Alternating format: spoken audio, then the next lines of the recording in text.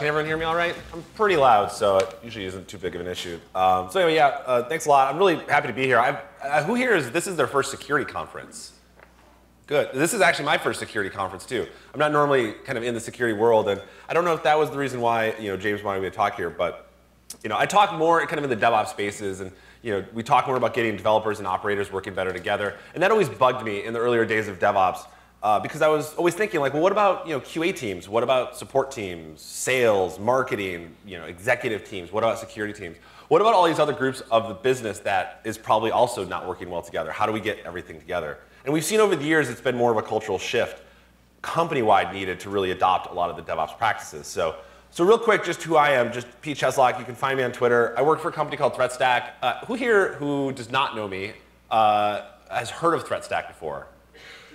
Awesome. This is actually good. So I like, you know, clean room of people. So I work for a company called ThreatStack. We're a new company we started last year. We're based out of Boston, uh, Massachusetts. Uh, and uh, we do continuous security monitoring, looking for internal threats, external threats, and all this stuff. If you're curious for more, I'd love to chat with you about it. But the most important part is, again, I'm not an InfoSec person. I've never really been in that space, in that community. Um, I've been more of an operations person. I've been a sales engineer. I've been a network person. I've been kind of all over the place. Um, and so this talk is a lot of what I've actually had to learn on, you know, on demand while working at ThreatStack while scaling our platform from ingesting essentially zero events into billions of events per day. Um, so James asked me to talk, and this I was like, really? Are you me? Like, why I'm not a security person? Like, what do I have to say? Um, and he was like, well, you know, we're talking more about DevOps and how do you get people to work together. Um, and so more recently, what I've seen though, if you look at DevOps Days conferences, of which there's like 20 of them now every year, you'll see more security content coming out. More people are talking about it as more and more issues are happening. But if you look back in, in older conferences and older talks about high velocity web operations, you know, systems engineering stuff, no one's talking about security. It was always like, how can we do things faster and faster and faster? That was most, most of the thing. So I'm only going to spend one time, one slide on what is DevOps and um, it's, it's a great quote from a friend of mine. Oh man, I sorry for that animation. I hate those things. Uh, so this is probably one of the best quotes I've seen about DevOps. From a friend of mine. He says, you know, DevOps means giving a shit about your job enough to not pass the buck. It means giving a shit about your job enough to want to learn all the parts of your business. I think this actually applies as we talk about security as well and, and security teams. Just because I'm an operations person doesn't mean I get to ignore the security aspect. And that's stuff that, you know, if I don't know it, I need to learn it. And that's why I love coming to events like this to learn from, you know, the community. So in the past, I have had to work with auditors. I've had to go through audits myself, and I've worked with dedicated InfoSec teams. Um, I've realized that I think we're, we're reaching this inflection point where we have to start seeing how security teams are kind of off in their own silo with these you know, DevOps teams, dev and ops teams together. Um, and, and, what I think is happening now is, is, some of those walls are getting broken down. Um, if you've been to a, kind of a DevOpsy type talk, you might have seen this wall of confusion. In the past, it was the dev on one side and the ops on the other side. And I think what's happened now is, you know, the dev and ops, like they're all happy and they're, they're doing all this continuous fun stuff. And the security team is on the other side and they're just getting all this stuff kind of thrown over to them. So the dev and the ops, they're living in perfect harmony, right? They're embracing change. They're embracing continuous delivery. And, and maybe the InfoSec team isn't being included. Maybe the InfoSec team doesn't want to be included. Um, before the DevOps conversation really started, operations teams did, generally didn't like change. Because change brought instability, and instability woke them up in the middle of the night. So James was actually talking about the broke the internet one. I, I kind of, I, I, you know, put the little overlay on top of it, and I was like, haha, that's funny. And then like, it got on the internet and people loved it. But you know, this is, this is what it feels like, right? Uh, for InfoSec teams, change brings fear, it brings uncertainty, and since you never included your InfoSec team in your fancy new continuous build pipeline, uh, you have all this software now that is largely untested uh, for vulnerabilities. So security is on the minds of everyone. I don't know if anyone follows the Food Lab. I, I love to cook. Uh, and so it's pretty much like when the Food Lab guy is saying, hey, FYI, like GoGo is you know, basically hijacking your SSL connections, you know, keep that in mind. Um, I think we're at a point where it, it is on everyone's mind. It should be on everyone's mind in your company. So, um, yeah. So I noticed one thing when I started getting into security stuff, because I didn't know a lot about security and I, I, was trying to learn more about it, and I realized that there are the things that we should be doing, uh, which is washing your hands, And there's the things in security that I think I see a lot of doing instead. Things like emergency, the cocaine tooth drops, a lot of things that probably are not actually helping you out. Um, and I think that this is what this talk today represents, uh, to, uh, is that I, I really want to teach you if you know, how to wash your hands, essentially. More likely, I'm actually going to tell you about how I learned to wash my hands while operating the ThreatStack platform. But uh, I know a lot of keynote talks are more vague and kind of give you some ideas to go on, but I'm going to do a little bit of that, but I'm actually going to dive into as well. And my only hope is that there might be some things you're going to look at and be like, oh, that's beginner stuff, like, you know, we're already doing that. But it's probably not beginner to someone because last year, a lot of the stuff in the talk, I was like, oh, yeah, sure, like SSL, I guess we should have that, right? But what does that really mean? Um, so I'm a huge West Wing fan. Anyone here like the West Wing? Couple hands, all right. The West Wing's a great show. I mean, I usually get a few more hands than that, but. So there's a great quote from it. Uh, the most costly disruptions always happen when something that we take completely for granted stops working for a minute. And when I saw this, when I, when I experienced an issue a few months ago, this quote just like came to, uh, came to my mind. So I was working on our platform, a new version of Linux kernel came out, and it was a security update. So I'm thinking to myself, all right, I'm a security-minded person. I'm gonna start baking some new images, starting testing it out. And I ran into a very interesting bug. So with a specific version of the kernel that I was running, uh, this is uh, Ubuntu specific if you're curious, uh, which was supposed to be security update only. If you ran any sort of tool that integrated with the kernel audit API system, uh, like an auditd or like our threat stack agent, um, you'd enter into a scenario where no one, including the root user, could actually run commands or fork processes. So it was a very secure security update. You couldn't actually do anything. Um, now you're thinking to yourself, okay, it's fine. I'll just log into the, the console and you know I reboot to the old version of the kernel. This is in the cloud. I don't have a console. You just have to like nuke these boxes and rebuild them. So, but you see that to upgrade my security, upgrade my kernel with a security release, to make my system more secure. But it'll, it'll now make it unstable, but only if I'm actually running a tool that is supposed to help me stay secure. So this is why we can't have nice things. Because I'm trying to do these very simple things to stay secure and you know, getting blocked along the way. So you say you're building secure systems, but how do you know that something that you're already using today isn't fundamentally broken? We use lots of software, lots of open source software, and we depend on them to keep us safe online and keep our systems secured. But we find later they're trivially exploitable, right? Heartbleed was the, the probably the, the biggest example of this one. And it was exploitable for years, uh, potentially, uh, before we even learned about it. And Heartbleed was really bad, no doubt. Uh, the idea that someone could just snap your private key off the server, you'd never even know about it. The joke I make with this one is I don't, I don't have data centers anymore. I'm in the cloud. Like, where do I go to cry? Um, the, the, next one was the bash bug, shell shock, a remote code execution through bash. I mean, these were days when I'm just thinking, you know what, computers, we've had a good run. I'm going to open a meatball shop. It's going to be great. So what about uh, vulnerabilities with curl? You know, it's a really good thing that we actually don't use bash or curl to install software because that would be really crazy. So for those people, I gave this talk at a conference and it was a bunch of Windows people. They had no idea what I was talking about with curl bash. But uh, for those of you that don't know, there is this strange prevalence to make it very easy to install software. It involves just downloading a script from the internet and running it. Sometimes with sudo, sometimes with not. Doesn't really matter either way. Um, and so I'm not going to hate on the curl bash, and I, think there are, there are reasons why it exists. Um, but I have some issues with it, as you should as well. And as you're about to see, I have issues with a lot of things, really. Um, so for many years, again, I said this before, as an ops person, security has been an afterthought, right? I've got only so many cognitive resources for my daily activities. And I've worked at a lot of high growth startups, so you're spending all your time keeping the application running, keeping the systems going. You're not really thinking about the security aspect, right? You're just trying to keep the lights on.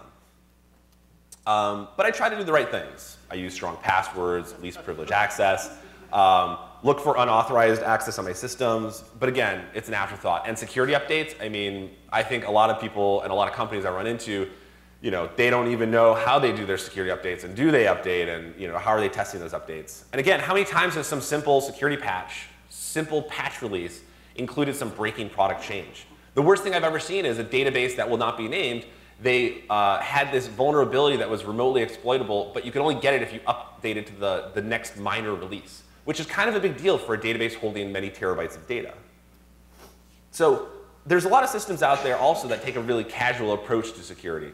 And I think it's time that we start recognizing that a lot of these new tools, they do enable us to work better, but they also introduce in a lot of attack vectors. You know, think of, I'm sure everyone in here can think of many databases off the top of their head that have completely unauthenticated curl access to, right? pretty much not logged. You can just go in, you can drop your whole database. And I've seen people just do that, right? That's not even a malicious activity. That's just someone making a mistake, right? Um, but this is where risk assessment comes into play. And it's not just something for the auditors. This is something that we're actually doing as systems builders, operators, and application developers uh, every single day. Because consider this scenario. One of your engineers comes to you and says, we want to replace Postgres with you know, new hipster DB. You're going to apply this formula, which is going to basically tell you that those developers are now going to be on call anytime new hipster DB has some issues. But I think you need to acknowledge, though, that even if you don't have this dedicated security team, which for a lot of companies they don't, um, this is, again, you can't pass the buck. Um, just because it's, you don't have a dedicated team to focus on it doesn't mean that it's no one's job. So maybe you or your security team, if you are lucky enough to have one, are going to make these same risk assessments when maybe you're choosing a new SaaS service, uh, maybe some sort of third-party logging tool you're going to use, or maybe some new internal database. You know, this is uh, specific questions like, you know, what kind of data are we sending there? You know, what if that system's compromised? Um, what happens if, if that data gets out in, into the public? How valuable is that data? Is the data have any value at all? Can you scrub it before sending? But I don't think this should be an excuse to not use SaaS services because you should still be doing the same questions when you're uh, running new services internally as well. So you understand the risk when you're looking at a SaaS service, absolutely. Um, and I only say when using SaaS services, it's, it's the classic own your availability, but it's also own your security. Um, and security, availability, performance, these are not features. These are the core pieces of applications that you're building. So, so I want to dive in now. This was, you know, kind of the, the high, you know, level view of some things. But now I'm actually going to dive in specifically, fairly fast and furious, into a bunch of things that I actually learned. And a lot of these things I, I always think to myself, ah, they're so basic, I don't even know why I go through this stuff. But then I chat with people and they're like, wow, like I wasn't even thinking of that or never even knew that existed. So I always feel like there are a few things that you can learn from basically from what I had to learn last year. So it's 2015. When you talk about configuration management, I feel like it's, it's a non-starter. You have to have something. You could have bespoke bash scripts. I know Ben at Etsy has you know, really well-crafted, crocheted uh, shell scripts for their stuff. Um, but they also, you know, you can use Chef Puppet. It doesn't matter what you use. What's that? Z. so the beautiful thing about configuration management is obviously your infrastructure is now as code, but if it's as code, it's testable, which means when new security updates come out, you can deploy those, you can test them, and you can also move very quickly. When the inevitable next uh, OpenSSL issue comes out, your ability to move quickly to update those changes uh, you know, could be, make a big difference in the grand scheme of things. So at a previous company, I worked with our security engineers with a tool called Test Kitchen. Uh, any, anyone here have heard of Test Kitchen before? It's, uh, it, it's a, basically a test suite that wraps on top of a tool called Vagrant that you can use to build systems. And what it can do is you can have, let's say, a chef cookbook that defines the state of your infrastructure. And so what I did was I went to our security engineers and I said, hey, if you run this command, you can build one of our base boxes, which is a box that has all of our default configurations for stuff. And they started going through that and creating audit rules and making changes. And then once they started learning about how we were building systems, then they started to build their security monitoring on top of it. And they were shipping uh, configuration management code for Audit D, for OSSEC, for various application stuff that they wanted to monitor. And then auditing, they started creating tools that could audit the systems you know, on the fly. But the most important thing is that they started deploying these application changes in the exact same pipeline we were using for application development and for systems development. So I want to talk about bug bounties real quick. I think it's amazing that a company like United, and any United employees here? No? Okay, good. So I, I don't fly United for very specific reasons, uh, but I think it was really a game changer when, when I, I would say a company like this says, hey, we have a bug bounty program, here's how you contact it. You know, there are companies that can help you with this. Um, even if you don't have a specific bug bounty program, have a place in your site uh, that people can go and report issues to. Um, give them a way to contact you securely. And sadly, you'll probably end up using PGP for this. Uh, we'll talk more about PGP later. So shared secrets is a very hard problem. Um, and I think this is one of the, the hardest problems when we talk about, I have this application and I need to talk to a database. Where do I store those secrets? And not only is it difficult when sharing secrets between maybe two engineers working with each other, it's obviously very difficult in the systems world. Um, but the best advice I can give on this one is just don't put this one off for another day. And I don't think you need a, very, a very complex solution for this one. Um, I've seen passwords stored in like wiki documents. That is bad. You don't want to do that. Maybe you want to grab like 1Password and have a shared vault that you can share with people or LastPass or something like that. But no matter what, I always try to say make sure it's open source crypto. If it's not, it's just kind of a big question mark. Um, but we need to stop with passwords and wikis committing your secrets to GitHub. There was a blog post recently about a developer who spent an inordinate long amount of time basically saying how this bug in his um, you know, Visual Studio caused him like an $8,000 Amazon bill because you know, he committed to a private repo, but there was a bug and it made the repo public on GitHub.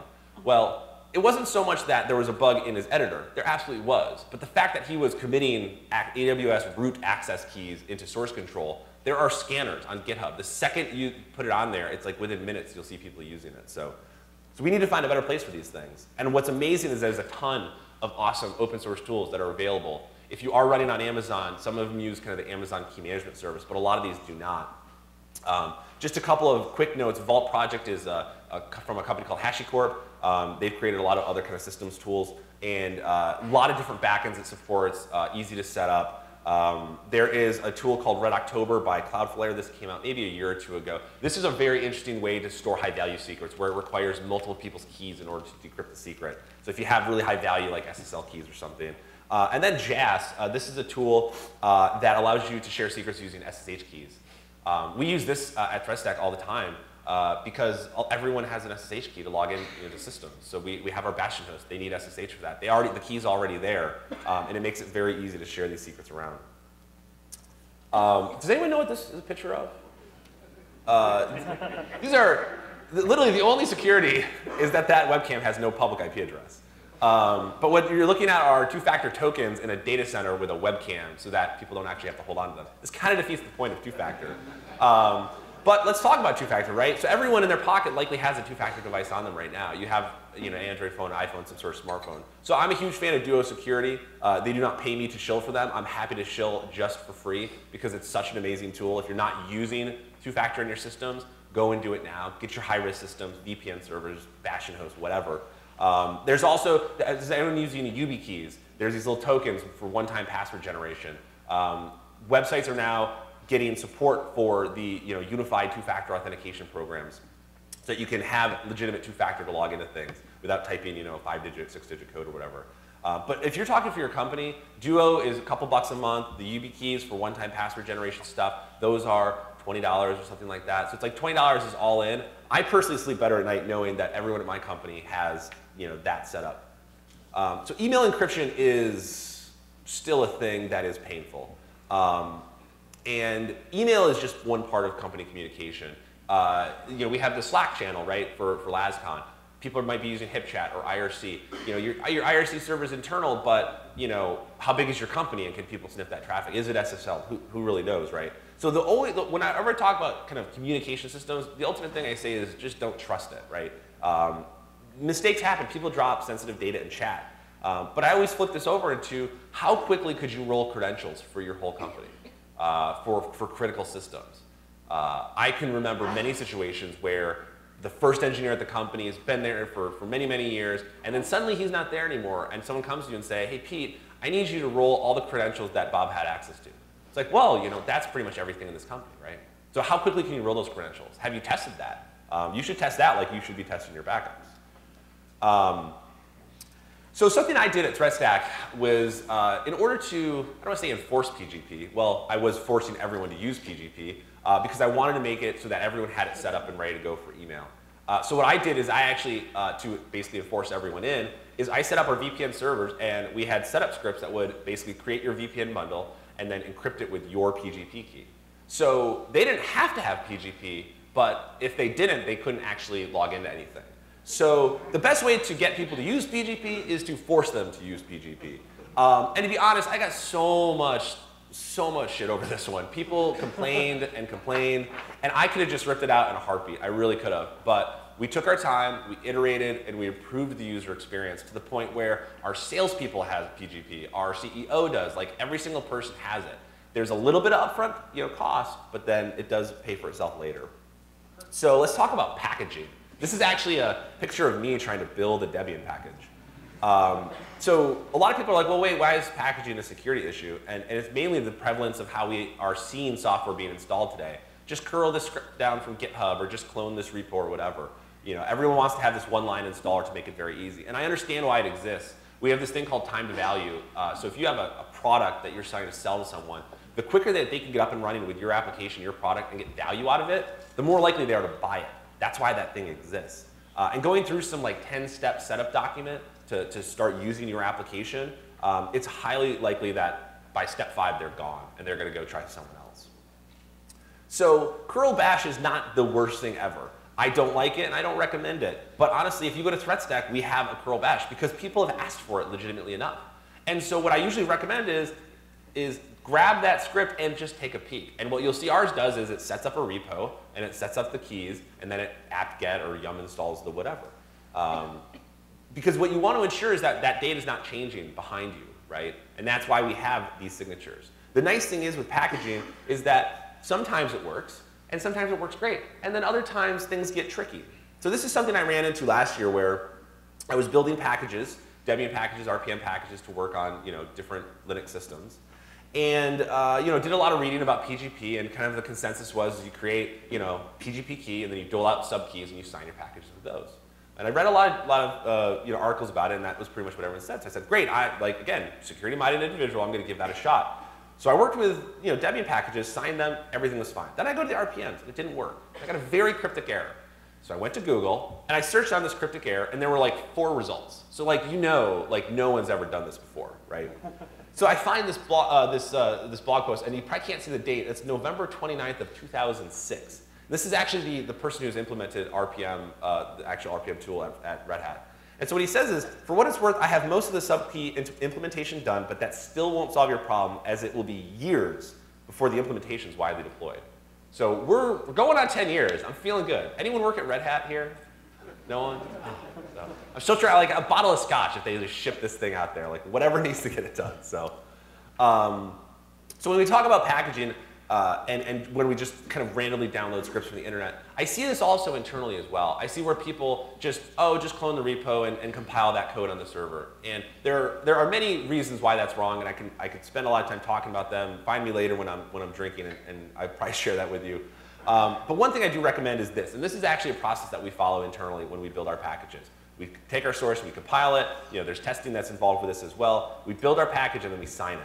And then we test those signed packages, and then we can ensure that that package integrity maintains throughout the whole pipeline after the fact. And so when people say, oh, like, I hate curl bash, and it's like, well, how do you deploy your code? It's like, well, we cloned from GitHub. It's like, no, no, no, no. Like, you can't, be, you can't hate one and be okay with the other. Um, and the nice thing is, is that there are a bunch of tools that can help you with this. So you might notice that this talk is maybe a little bit more slanted on like the Debian Ubuntu world. That's just kind of the world that I've been living in. Um, there's if you're on you know, Red Hat, you can create an, a package repository very easily with one tool that just works. Uh, the Debian, I have like 18 versions of that tool that all work in a very different way. Um, but there's a few things that I've used uh, personally. One's called Aptly, which is a newer tool to, to make repo creation easier. Uh, this thing, Deb S3, allows you to create Debian repos on S3 on the cheap.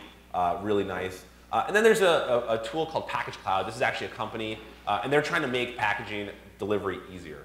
Um, if you have an open source project, you can host it with them for free. So you can get your customers and your users of your project uh, downloading packages uh, from them, signed packages, um, which I would say is better than you know randomly curling stuff. So, um, so let's talk about SSL's certificate. So when realavocadofact.com has an SSL certificate, you should have an SSL certificate. We already know that Google gives you higher search result if you are SSL. Um, but I say you should have real certs as well. I've seen companies say, well, we have an internal CA, it's cheaper that way, whatever. It's like, okay, well, how do you, how do you get the CA cert? Well, we just tell people to click, okay, it's fine, it's ours. It's like, you're defeating the point of SSL. Just buy a real certificate, it doesn't cost that much. The cost is so low. And now with the Let's Encrypt project, this is like a no-brainer. When they start doling out certificates for people, it's gonna be like time to start SSL shading people, I think. But take the time to set up correctly, and not to say it's easy, right? We're dealing with decades of technical debt. So pop quiz, anyone know where the OpenSSL default store of trusted CA files is? If you guess some other goddamn place, you are probably right. Uh, because there is no reason that anyone, there's no incentive for people to improve these systems. And I think that's the sad thing. I think we should improve a lot of the user experience around how we build and how we test and how we secure systems. But don't just set them up as well. I always tell people, you know, monitor them as well. Because, and, and let, let they who have not let a certificate expire cast the first stone, right? but gmail.com certificate expired. That, that was actually an issue with their, with their uh, intermediate CA. Instagram certificate expired. I actually had three other slides of, of other issues where the Microsoft cloud went down uh, like four years ago because their cert expired. And then it happened again two years later, and everyone's like, how can, it, how can their cert expire after two years? Again, how can they let it happen again? And it's obvious, isn't it? Someone bought it four years ago and then forgot about it, left the company, and now it expired and no one, no one knew it was there. Uh, so Qualys, I think they actually might either be here or be a sponsor. I don't, I don't know. But anyone use the SSL Labs testing site? If you don't know about this, uh, you should really do it. It's an amazing service. This was so helpful for me as I would say an SSL newbie to figure out if my application was secure in any sort of way. But not only that, if they'll tell you, you know, they've essentially gamified web security, right? Like, do you know how badly I want to get 100 in every column? It's, it kills me that that's at a 90, right? But it's an A plus. It's an A plus. That's fine, right? Um, I actually did spend the time, more than I would like to admit, getting to 100. And it turns out there's only like three browsers on the planet uh, that, can, that can view your content when you get to 100. So there's a balance, right? You have to balance it out.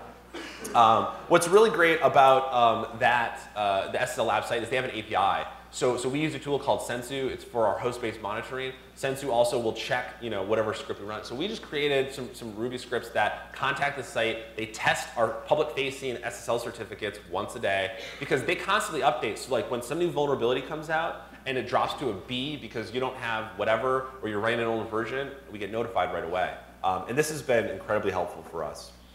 So um, any, any users of AuditD, OSSEC here? Raise a hand.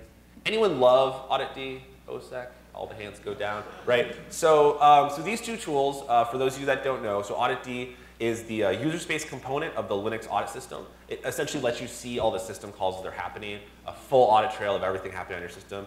OSSEC is a host intrusion detection system. It does some other stuff and file integrity monitoring and, and things like that. Uh, but right now, these, these are, you know, everyone kind of lowered their hand when I said, does anyone like it? And, and I think that's sad. I really wish that you know, that's a Red Hat project. I really wish they would spend more time on improving it because um, if the user experience isn't good for an operator, if, if they're constantly battling your head with something like that, you're going to turn it off.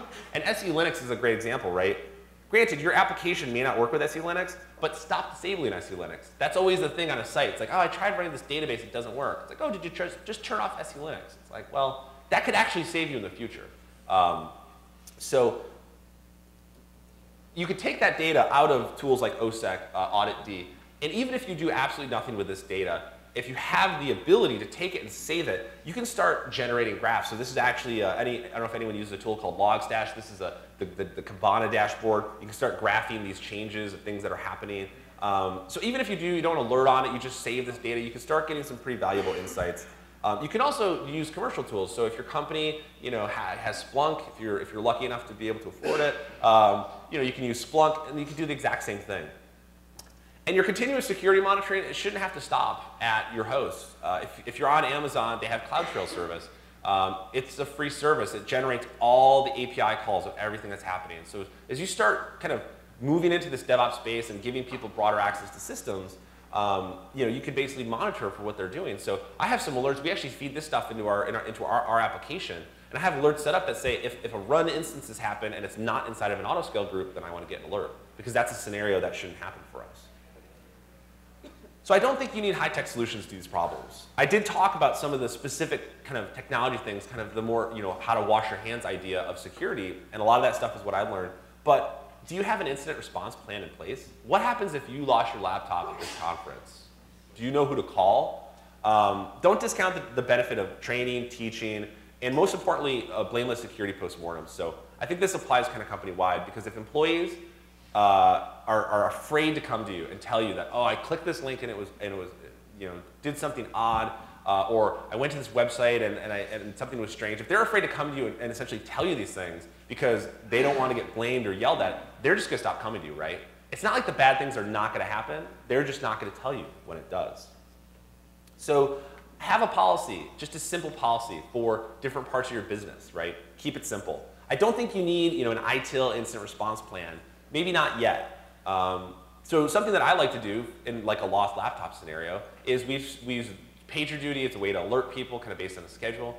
And so if someone loses a laptop, I've told everyone, like if I get a call at 2 a.m. on a Saturday because you lost your laptop, that's totally fine. Like I'll take that call every day of the week. But if you roll in the office at like 8 o'clock on Monday and it's like, ah, I lost my laptop at the bar on Friday, like, can you help me out? Like, that would be a much different conversation. So I try to make myself available as many hours as I can. Uh, and we have it rotating through a bunch of people. But having something is better than having nothing because interesting things happen, right? The engineers might see things that look a little odd. Maybe they drop it in a chat room, say, hey, this is strange, you know, some sort of cross-site scripting inside of an SSL cert. Um, maybe they see an IP connection from an unknown source. Uh, maybe they see a database dump on a server. That's actually one of the most likely ones. It's like, well, wait a second, we don't back up our databases that way. Why is there a database dump here? Because again, you have to remember there's always going to be unusual attack vectors. So if you are doing, you know, doing the DevOps right, you're, you're giving access to a broader group of people. And this is a frightening reality to a lot of companies. They used to be able to lock you out, right? If you were a developer, an application builder, you were, you were essentially locked out of, of operation of that platform. We know now that engineers build better systems when they're responsible for the health of those applications. Um, and so when we talk about giving safe access, we essentially mean monitor everything. It's the classic trust but verify. Um, there's a great quote from Mark Burgess. He's uh, the creator of CF Engine, kind of believed to be kind of the, the, the origin of, of, configuration management. He says, every time someone logs into a system interactively, they compromise everyone's knowledge of that system. I think this not only applies to operators making different changes to the system, but it also applies to really anything that's happening on there. I mean, my greatest fear I have is engineers who are logging in while on call, they get an alert, it's maybe like 2 a.m., maybe they install a package to fix an issue to get around it, and they're gonna go back the next day. And maybe they were good, maybe they're, you know, I'm gonna look at this diff of code before I, you know, make this change. But the real issue is if they're doing, you know, hot patching on the fly, uh, and they're pulling in dependencies of that code, or the transitive dependencies, which are much harder to track, now you have a, a system state that you cannot verify. And, it's, and, and they're going to go back to bed and maybe they're going to completely forget about it. So it's trust but verify. Uh, and we give a lot of trust to our engineers at ThreatStack. I mean, we really try to give people, if they're building the application, you're on call for that application. Um, and we are, you know, kind of lucky. We get to use ThreatStack to monitor ThreatStack, so I can see things when, engine, when like a new process starts. Um, I can see a new service start. I can see this new connection got open. We can verify that people aren't like SCPing files around. You know, I've seen that before in our dev environment. It's like, hey, you know, I see you SCP this file, you know, the server. Like, are, why aren't you using our continuous, you know, deployment pipeline? Uh, and I use it as a training option. It's not to go up to them and be like, hey, I saw what you did. Although my CEO trolls me all the time where I was on a server one time and I was fixing an issue and I typed my password in wrong, you know, for sudo and whoops, okay, try it again, did it wrong again, and I finally got it right. And he gets an alert for that you know, invalid password attempts. And so he, he hits me up on, on chat and says, you type your password in wrong on, on the server? I was like, yeah, yeah. Twice? Really? I'm like, dude, I got a new keyboard. Like, just give me some time, right? So, you know, so these are things that, in that kind of hilarious situation, you know, it's the same scenario as like he really wanted to find out because he knew that that's odd for me. It's odd for me to type my password in wrong so many times, right? So is that something else happening on there? Um, there are a lot of open source tools, like I said, uh, Audit OSSEC that you can just pipe this, these events out to a log and you can monitor what your users are doing. Um, my joke there is open source is only free if your time is worth nothing. Remember that there is a human cost to open source. Um, and that's fine. Like you should use open source and we should definitely improve a lot of those tools. But if you're a small company and you don't have the time, you can absolutely buy your way out of these problems. There's a lot of great tools out there to help you. So continuous security monitoring is more important that we treat our servers like cattle instead of pets. Uh, having security visibility through monitoring is, I would say, as just important as centralizing all of your application logs, as taking all your host-based metrics and getting them to a central place. I was at the AWS reInvent conference, and there was a talk uh, with Steve Schmidt and the person I can't remember who's the head of security for the Amazon.com. And they were talking about how they stay secure in the cloud because they're literally moving Amazon.com to Amazon Web Services. And so the way that they, they do this, they say logging. They're logging everything. Everything that's happening gets logged. And he says, well, what do you want to be doing more of? I want to be logging more things. Um, he didn't say anything about, well, we're creating this awesome like alerting, whatever. It's like they're just capturing this data because they can do interesting stuff with that later. So start small. You don't have to boil the ocean. And it, it seems super overwhelming if you're entered into a situation and you're trying to figure out, I need to secure everything out here. It's like you do, but you don't have to do it overnight. Um, go after your high risk targets. Go after anything public facing. Go after your VPN systems. Um, if you were to data instrument some sort of monitoring, security monitoring into your systems, the same way that you would monitor the health of your application, I think it sets you up to do really interesting stuff. The ultimate thing that I always like to talk about is that this is not a technical problem. When we're trying to get security teams and developer teams and operations teams and really sales teams and everyone else together, this is a people problem. Being the security asshole, it just doesn't work anymore. Um, I think a lot of empathy goes a long way, and that goes on both sides. You know, knowing that the security team needs to ensure and we need to pass audits and we have these PCI systems that exist there for a reason. And so having empathy for those people as well as the other side, it's definitely a two-way street. So my message to all the InfoSec teams out there that are wary of kind of the DevOps, uh, community is welcoming you with open arms. You know, one thing that, like I said, this is my first security conference. I've given this talk at DevOps conferences, and people are like, yeah, security, I really should start doing something with that. But what I'd love to see is more security content making its way to those types of conferences, to the developer and application, to the, oper uh, the, operators conferences, the high velocity, whatever. You know, these are things that are going to help improve how we all work. Because honestly, it's not that people don't want to do this. It's honestly, they just don't know. Um, I've talked with operators that, you know, hey, what are the things that you want to know more about kind of the security of your system? I'm like, well, I, I just don't know. I, I, like, they just don't even know how to answer it. Um, so this is learning all around. The, just remember, the, the best security cultures are collaborative, though. They're not prescriptive. Um, we all understand business has to get done, but if you're trying to drive progress with fear, I think you're going to find yourself on a losing battle. Um, I don't think it's going to be getting easier, right? Uh, fridges are giving out your personal data. They're sending spam in these massive botnet attacks. Um, they might even link your Gmail credentials. Um, I don't know who's making these fridges, but they really need to stop. The cool thing is we have a much greater awareness of security. Uh, everyone is talking about it. I mean, both of my parents you know, they worked in factories. They are the, probably the least two tech, technical people that I know of, and they're getting it now. They're understanding that there are security risks and the number of times they've had to change their credit card because it's been stolen. And the great news, like I said, is what we're talking about it. With the Internet of Things, again, it's going to get harder. And I don't even call it the Internet of Things. I call it the Internet of Vulnerable Refrigerators because as we just learned, clearly it's those that are killing it. And again, this is one of those scenarios where I had like five slides of all of these. Like there's a teapot that you know, you know could leak your credentials or something. I mean, there's so many things that we're putting these chips in with a, without a second thought. But again, we're talking about it, we're trying to improve it, and I say this to all the people that are out there, you know, as you talk with more people, let's learn from each other. I want to learn from all of you. I, am really excited for a lot of the talks here today because I want to help learn how we can all together build, manage, and scale our systems much more securely. Thanks, everyone. Appreciate it.